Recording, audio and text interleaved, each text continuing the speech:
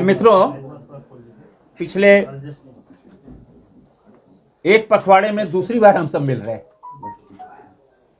और अच्छा लगता है कि आप सब लोकतंत्र के चौथा स्तंभ और प्रहरी जहाँ हमारी भूमिका, हम जनप्रतिनिधि की भूमिका, वहीं आपकी भूमिका भी बहुत महत्वपूर्ण होती है। और और इसी मुतल्लिक क्योंकि रांची लोकसभा एक बहुत बड़ा क्षेत्र है। आप समझो कि बंगाल बॉर्डर से ले, कपाली से लेकर ईचागढ़ कपाली से लेकर चतरा बॉर्डर तक, खिलाड़ी तक। और रोज़ाना सुबह जैसे सात बजे सुबह से दस बजे तक घर पे हम लोगों से मिलते हैं। फिर उसके बाद जो क्षेत्र में निकले तो रात, देर रात तक। अमूमन डेढ़ से 200 किलोमीटर रोज घूमते हैं। कोशिश रहती है कि लोगों के बीच जाएँ, क्योंकि ये ऑफ़िस तो है, ऐसा सात ऑफ़िस है मेरा। अभी चार दिन पहले चौका में भी एक हमने ऑफ़िस बनाया। तो रांची लोकसभा में सात ऐसे ऑफ़िस हो गए, सात समाधान केंद्र हो गए, जिससे जनता को का समस्याओं का निवारण, समाधान और समाधान लोकल स्तर पर। हर कोई गाँव वाला रांची नहीं आ सकता। आते हैं लेकिन आप चौका में बैठा, ईंचागढ़ में बैठा है तो वहीं चला जाएगा। वहाँ से उसको वृद्धा पेंशन विधवा पेंशन कोई प्रधानमंत्री आवास चाहिए, कोई सिग्नेचर चाहिए, कोई अनुशंसा कराना करा ले। फिर नहीं होता तो हम जाते हैं। और जब हम जो दौरे में जाते हैं तो हम, कार्यालय भी जाते हैं। अब सदाबहार चौक में आप देखो मेरा समाधान केंद्र। वो सुबह नौ बजे खुलता है दस, साढ़े दस बजे रात तक। हमेशा कभी खाली नहीं पाइएगा हमेशा भरा रहता है। तो जनता से जुड़ाओ जनता के साथ लगा रहना। तो मेरे ख्याल से पहली बार अ, रां, रांची के इतिहास में पहली बार ऐसा हुआ होगा। मैं कोई बड़ाई नहीं कर रहा कि सांसद के साथ साथ कार्यालय जनता से के प्रति ज़िम्मेदारी जनता के प्रति दायित्व हमारा क्या है? ये बखूबी हम समझते हैं। और उसी मुतालिक काम भी करते हैं कि चलो भाई आदमी करे। इसीलिए आज इस प्रेस वार्ता में हमारे अनुसूचित जातीय मोर्चा के राष्ट्रीय मंत्री जीतू चरण राम जी भी हैं, हमारे पार्षद ओम प्रकाश जी भी यहाँ हैं। वार्ड बत्तीस है ना? वार्ड सत्ताईस के। तो एक विषय, समसामयिक विषय हम बोल सकते हैं माननीय उच्च न्यायालय के द्वारा लगातार राज्य सरकार की कार्यप्रणाली पे प्रश्न चिन्ह लगा रहा है। हर मुद्दे पर। यहाँ तक सर्वोच्च न्यायालय भी। और इतने वर्डिक्ट पास होने के बाद भी, माननीय उच्च न्यायालय के वर्डिक्ट पास होने के बाद भी, सरकार अनदेखी कर रही, सोई हुई है। भाई उच्च न्यायालय बोल रहा है। उच्च न्यायालय के भी आदेश को आप, माने कोई गंभीरता से नहीं? और इतने वर्डिक्ट पास होने के बाद भी सरकार को जगना चाहिए। खाली चुनावी मोड में नहीं जाना चाहिए। हाँ चुनावी, जब चुनाव हो तो चुनावी मोड में जाओ, आप यात्रा करो, आप पिकनिक करो, आप रायपुर जाओ, सब ठीक है।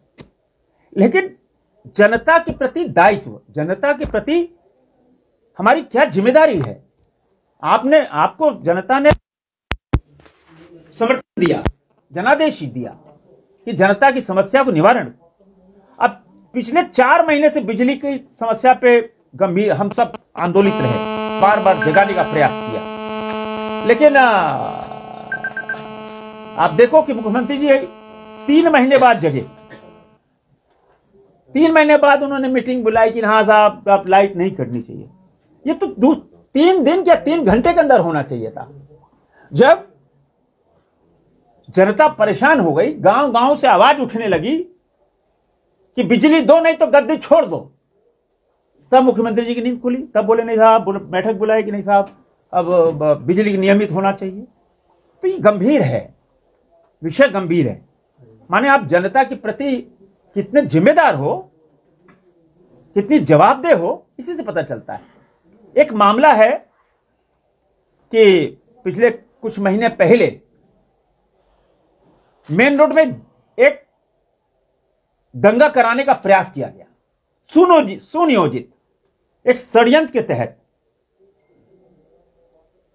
और लेकिन ईश्वर की कृपा थी कि रांची शहर जलने से बच गया। और लगातार उस समय मैं दिल्ली में था। मैं लगातार फ़ोन पे, नहीं, शांत रहो शांत रहो शांत रहो शांत रहो, कोई नहीं, कुछ नहीं, सब ठीक हो जाएगा। पुलिस तंत्र है, सब, सारे पुलिस अधिकारियों से मेरी बात होती रही, भाई, आप देखो, इतनी बड़ी कार्रवाई हुई, दस, पंद्रह हज़ार लोग निकल गए, आग में झोंकने का काम किया, लेकिन उसके बाद कार्रवाई बंद, फ़ाइल बंद कर दी गई। तो यह प्रश्न नहीं दे रहे आप ऐसे असामाजिक तत्वों को? अब उनके खिलाफ कोई कार्रवाई नहीं। लगातार पिछले को प्रेस कॉन्फ्रेंस में मैंने कहा था यह बात। अब उच्च न्यायालय ने भी कल क्वेश्चन कर दिया कि आपने मेन रोड में जो दंगा कराने का प्रयास किया गया, उसकी फ़ाइल बंद कर दी। क्यों नहीं सीबीआई को सौंप दिया जाए? ये उच्च न्यायालय का। हम तो शुरू से नेक्स्ट जैसे हमने ये मांग की थी। कि सीबीआई जाँच होनी चाहिए। एक बहुत बड़ा षडयंत्र था रांची को आग में झोंकने का, सांप्रदायिक दंगा कराने का। ऐसे लोग मंसूबे में सफल नहीं हो। इसलिए सीबीआई जाँच होनी चाहिए। अब माननीय उच्च न्यायालय को गंभीरता से। कितनी बड़ी बात है कि माननीय उच्च न्यायालय बोल रहा है। तो इस पे तो निश्चित रूप से सरकार को गंभीर होना चाहिए, ऐसे तत्व। हम किसी जाति, धर्म, हम किसी को नहीं जाते हम सब रांचीवासी हैं। सांप्रदायिक सद्भाव रहना चाहिए। लेकिन कोई माहौल बिगाड़ने का काम करे, कोई सामाजिक समरसता को बिगाड़ने का काम करे तो बर्दाश्त के बाहर है। ऐसे लोग, किसी जाति, किसी धर्म, किसी कोई हो, किसी बड़े पद पे हो, नहीं। सजा मिलनी चाहिए। और इसीलिए माननीय उच्च न्यायालय के इस वर्डिक के बाद, अभी तो उन्होंने कहा है कि क्यों न सौंप दी जाए? तो सरकार को जगना चाहिए। सरकार को पूरी तरह कार्रवाई करनी चाहिए। ऐसे तत्वों को जिला बदर करना चाहिए, ताकि आगे कोई हिम्मत नहीं जुटा पाए। अब माननीय उच्च न्यायालय की और टिप्पणी आई। वो टिप्पणी आई मेरे ख्याल से देश में ऐसी टिप्पणियाँ बहुत कम होती हैं कि मंत्री और कुछ लोग टेंडर मैनेज कर रहे हैं। अरे,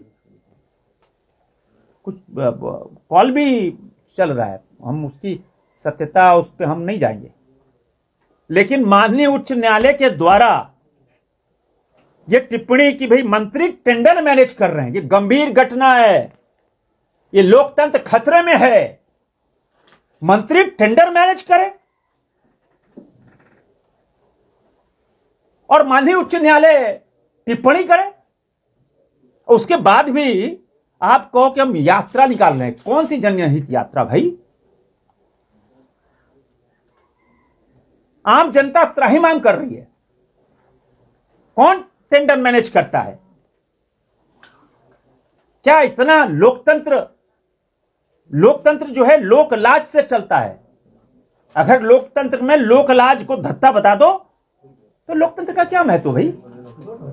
और माननीय उच्च न्यायालय की टिप्पणी के बाद माननीय मुख्यमंत्री जी को निश्चित रूप से इस पर टिप्पणी करनी चाहिए। क्या है? और एक और गंभीर घटना। मेरे ख्याल से देश में पहली बार किसी मुख्यमंत्री ने कहा कि जो गाय और जानवर की तस्करी होती है, उसको तुष्टिकरण नीति के तहत रोक दिया गया, नहीं साहब? वो नहीं होगा। अरे क्यों नहीं होगा? तस्करी कर गौ गौ को बांग्लादेश भेज रहे, गौ हमारी माता है। और उनका यह बयान कि पुलिस कार्रवाई नहीं करेगी तो कौन कार्रवाई करेगा? ऐसे हम खुला छोड़ दें कि हमारी माँ को आप ले जाके बेच दो, हमारी माँ को जाके काट दो। ये क्या है भाई? गाय हमारी माँ है, भारत माता हमारी माँ है यह धरती माँ है। यह टिप्पणी माननीय मुख्यमंत्री जी की ओर से आई कि पुलिस नहीं करवाई होगी तो मनोबल बढ़ाना, ऐसे तत्वों को। करो, हमारे यहाँ पूरी छूट है, तस्करी करो, झारखंड की सीमा से पार हो, कोई रोकने वाला नहीं है। हम चुप बैठने वाले नहीं है। और इस पे हम लोकतंत्र के सबसे बड़े मंदिर में लोकसभा में हम इसकी बात रखेंगे। क्या तमाशा भाई? क्या आप तस, पशु तस्करों को बढ़ावा देना चाहते हो? पशु तस्करों ने हमारी एक बेटी का टुपुदाना के आगे वहाँ जान ले लिया न्याय नहीं मिल पाया। ऐसे कितने हत्याएँ होती हैं। तो ऐसे तत्वों को माननीय मुख्यमंत्री जी बढ़ावा नहीं दें। मेरा ये नम्र निवेदन है, माननीय मुख्यमंत्री जी से। एक और घटना, हमने इस पर भी टिप्पणी की थी। हमने फ़ोन करके प्रभारी ट्रैफ़िक एसपी को हमने कहा, आलम जी को, कि भाई क्या कर रहे हो आप? उन्होंने कहा कि साहब कचहरी चौक से लेकर सरजना चौक तक ठेले नहीं लगेंगे। सरजना चौक से रतन टाकीज और रतन सुजाता तक क्यों नहीं? सबसे नैरो सड़क हनुमान मंदिर के बाद होती है। वहाँ क्यों नहीं? क्या तुष्टिकरण नीति है? कौन बंद आप, हम हम किस हम किस, माने किसी के खिलाफ नहीं है। लेकिन भेदभाव नहीं होना चाहिए। आपको कहना चाहिए कि भाई कमिश्नर चौक से सरजना चौक तक कोई ठेला नहीं लगेगा। हम उसकी अलग व्यवस्था कर रहे हैं। हम अटल मार्केट दे रहे हैं, अटल मार्केट बनाएँगे। लेकिन एक सिर्फ़ आ, हम सरजना चौक से लेकर यहाँ तक करें नहीं पूरा करो। डेली मार्केट के सामने एक बहुत चौड़ी सड़क है जो चर्च रोड को जोड़ती है। तो तेरह चौदह किलोमीटर मीटर की है। पूरी तरह कब्जा है। खाली करो। हम उनके रोज़गार पे हम नहीं अटैक करें। उन्हें जगह दो। उनको बसाओ सड़क खुले। उनका रोज़गार नहीं मरे उसका भी मैं समर्थन करूँगा रोज़गार है दुकानदार हैं, बेच रहे उनको उनके भी बच्चे, उनका परिवार है, उनको भी कहीं बना के दे दो, सड़क खाली हो जाएगी, जाम से मुक्ति मिलेगी। तुरंत ही डेली मार्केट में बड़ा सा मार्केट बनाओ, डेली मार्केट में जो सब्ज़ी विक्रेता है, फल विक्रेता हैं, जो सामने है, उनको जगह दो। मास्टर प्लान इस इस ओर होना चाहिए और तुरंत उसको जाम से मुक्ति मिले। दूसरा, प्रधानमंत्री नरेंद्र मोदी का लाइट हाउस जो प्रोजेक्ट है, उसको बाधित हो रहा है। एक एक एक माने एक, क्या कहते हैं, साजिश तो नहीं कहेंगे, माने गलत नियति से। इतना बड़ा मध्यम वर्गीय गरीब परिवारों को एक लाइट हाउस प्रोजेक्ट, प्रधानमंत्री की योजना सब जो मध्यम वर्गीय परिवार हैं, जो उनसे नीचे परिवार उनको प्रधानमंत्री आवास मिल जाता है। जो मध्यम परिवार है, उनको लाइट हाउस प्रोजेक्ट बालू किल्लत हो गई। पहले उधर दो साल कोरोना में निकल गया। इफ़ेक्ट हुआ, फिर बालू के चलते त्राहीमाम हो गया। सबसे कमज़ोर झारखंड है। तो हम क्या माने? राज्य सरकार की जो नियत थी वो सही नहीं है। कि साहब, ये तो मोदी जी का प्रोजेक्ट है। जिस तरह प्रधानमंत्री जी कोरोना काल से आज तक जो गरीब कल्याण योजना के तहत अन्न बांट रहे हैं, पाँच के जी पर के जी उसमें भी पिछली मरतबा बताया था हमने, कैसे उसको चार महीने तो रोका गया। तो गलत है। लाइट हाउस प्रोजेक्ट में कोई बाधा नहीं आए। मेरा आग्रह माननीय मुख्यमंत्री जी से है कि यह मध्यम वर्गीय परिवार के लिए है, इसमें कोई बाधा उत्पन्न नहीं हो, ये ज़िम्मेदारी है आपकी। क्योंकि कोरोना के बाद और बालू के बाद ये बड़ा नुकसान हुआ है। इस पर भी मेरा बड़ी मान इसीलिए मैं टिप्पणी करना चाह रहा हूँ कि ऐसे जो बेघर लोग हैं, ऐसे लोग घर मिल रहा है, एक सपना होता है।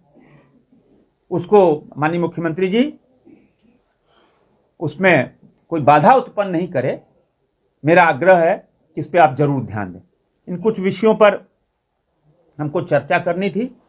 ये ये एक गंभीर चर्चा है। एकदम राजनीति से अलग हटके चर्चा है। और आपके माध्यम से आ, मैं बात सरकार तक पहुंचाना चाहता था। और ये माध्यम आप थे इसीलिए मैं मैंने आप सबको आमंत्रित किया।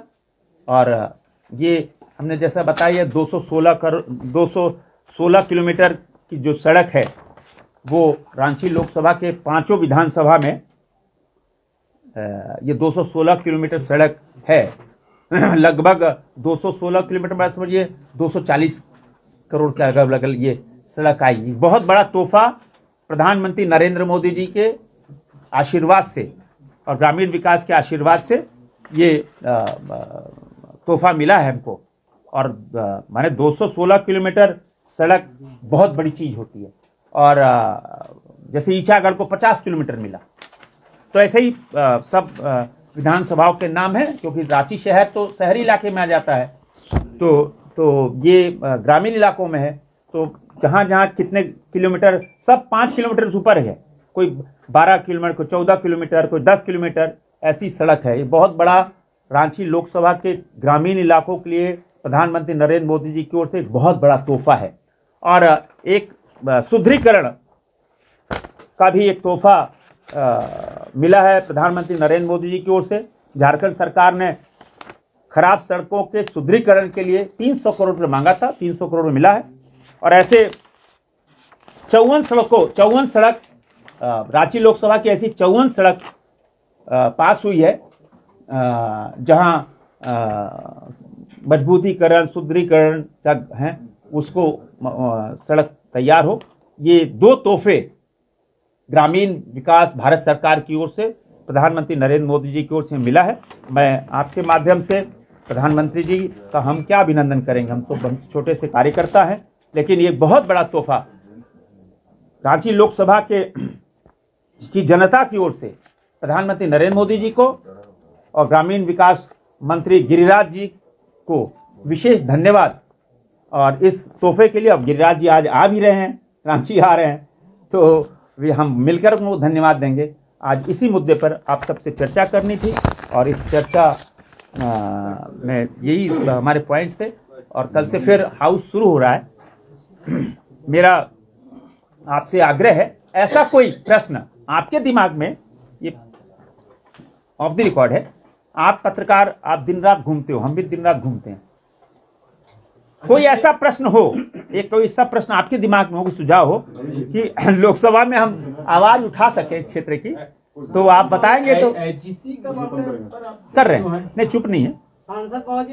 तो बंदी हो गई सब कर रहे हैं। हम, हमारा जो काम है, आप लगातार देखो, पिछले तीन साल से हम एक्टिव हैं एच के नहीं है। प्रधानमंत्री जी से, सेक्रेटरी से, मंत्री से कर रहे हैं। तभी आज स्थिर है। कर रहे हैं। कर रहे हैं। अब हमारे हम, हमको हमको जो करना है वो हम कर रहे हैं। लगातार आप आप सबको भी से भी हमेशा रूबरू होते रहे। कोई अच्छा समाचार होगा तो हम बताएँगे ज़रूर। लेकिन हम चुप नहीं जी। बताए ना। क्या सत्र में आप एक आवाज़ उठाएँगे सर कि देश में जो बड़े बुचड़ खाने हाँ, हाँ। उनको बंद कराने के लिए छोटे छोटे जो तस्करे उसको तो पकड़ा जाए लेकिन जो बड़े पैमाने पे जहाँ पे हमारी गाय माता को बहुत अच्छा सुझाव है। बहुत बढ़िया। इस पर आप सवाल उठाए बहुत बढ़िया। एकदम बहुत अच्छा प्रश्न है। ठीक है। ऐसा कोई सुझाव है? हाँ, तो सांसद महोदय एक प्रश्न। कल जो है खेल पर जो चर्चा हो रही थी लोकसभा में आपने चर्चा में भाग लिया था। झारखंड की बात आपने उठाई थी। एक महत्वपूर्ण चीज़ आप छूट गए उसमें। महत्वपूर्ण चीज़ तो ये है कि खिलाड़ियों को नौकरी कैसे मिले? हाँ रोज़गार कैसे मिले? रोज़गार। और जब तक आप रोज़गार से नहीं जुड़ते हैं तब तक प्रमोशन जो मिलना चाहिए बिल्कुल। वो नहीं मिल पाएगा।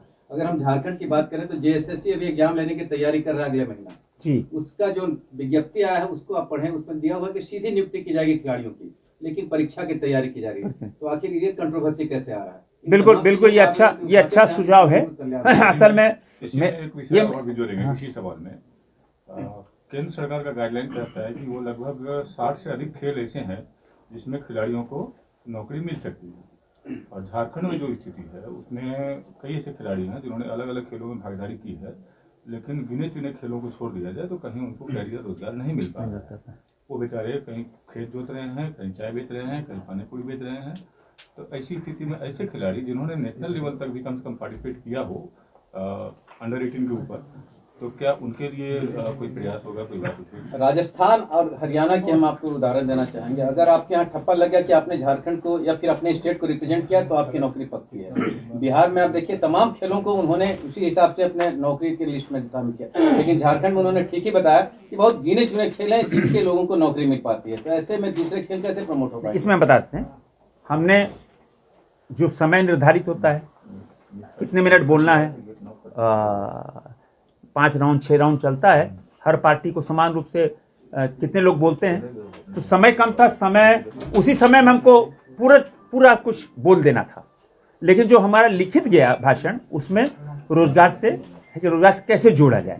लेकिन समय की कमी कारण जो जितना समय आ, मिलता है निर्धारित रहता है। आपको इतना बोला यस बिल्कुल बिल्कुल आपका प्रश्न है कि रोज़गार से जोड़ा जाए। हमने इंगित किया था कि हम मेकॉन रेलवे आ, सेल हाँ, ये ये मद, हाँ ये मदद करते हैं हाँ। लेकिन और कैसे रोज़गार से हम जोड़ें ताकि ऐसे बच्चे हमारे जितने भी अब हमने कहा कि भाई ऐसे बच्चे हैं कि जिनको ड्रेस नहीं खरीद सकते जूता नहीं खरीद सकते है ना?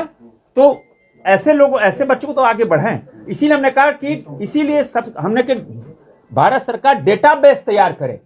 हमने क्या था जहाँ डेटाबेस तैयार हो गया खिलाड़ियों का पूरे देश भर का तो आप वो स्वतः ही सब कुछ सामने आ जाएगा क्या अरे तो बहुत पुअर फैमिली की है, ये तो फार्मर की इसका कुछ नहीं है तो हड़िया बेचने वाले परिवार की है इसीलिए प्रमुख मांग हमारी थी कि देश भर के खिलाड़ी जो राज्य स्तर पर, राष्ट्रीय स्तर पर है, उनका डेटाबेस तैयार हो उसका पूरा सब कुछ आ जाएगा।